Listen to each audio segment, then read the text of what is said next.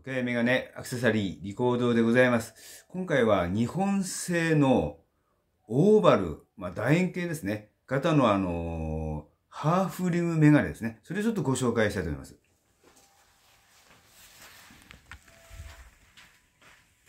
今回はあの、ファルベンメガネですね。日本のあの、マルマンオプシカルで製造、販売してる、このタイプのあの、オーバル型ですね。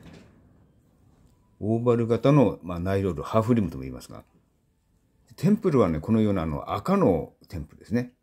非常にこう鮮やかな、非常に赤で。で、フロントのこの部分はですね、あの、グラデーション。いろんなこう赤プラスこのブルー系が入ったり、すごくこのかけた感じが柔らかい感じがいたします。